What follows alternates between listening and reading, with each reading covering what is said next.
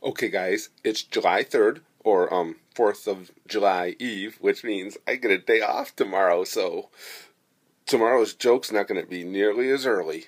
For those of you who aren't in America, 4th of July, if you don't know, is like Independence Day and everything, which, um, you know, it's great to celebrate our independence, but it's even greater to celebrate Curtis not having to get up and go to work.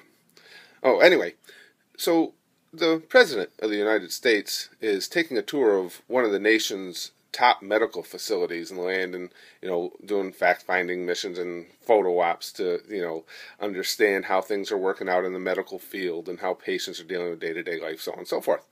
So anyway they're they're touring some of the patients room and as they pass by this one room the president looks inside and there's this guy laying on his bed just jerking it yanking one out. The president's like oh that's like isn't that a little inappropriate right there or something? Shouldn't somebody be, you know, help doing something to stop that guy?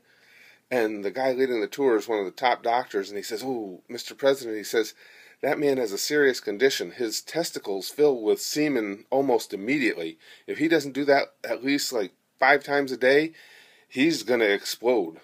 And the president's like, "Oh, geez, I'm I'm sorry. I'm sorry. I didn't you know I didn't know there was such a thing. I don't mean to be disrespectful. Sorry about that." So they continue their tour, and a little while later, a couple floors up, he looks in to another room, and now there's a patient, but a nurse is giving him a blowjob. Just going down on like hammering away, and the president goes, "Whoa, what's going on in there?" The doctor says, "Oh, same condition as the last guy, better health plan."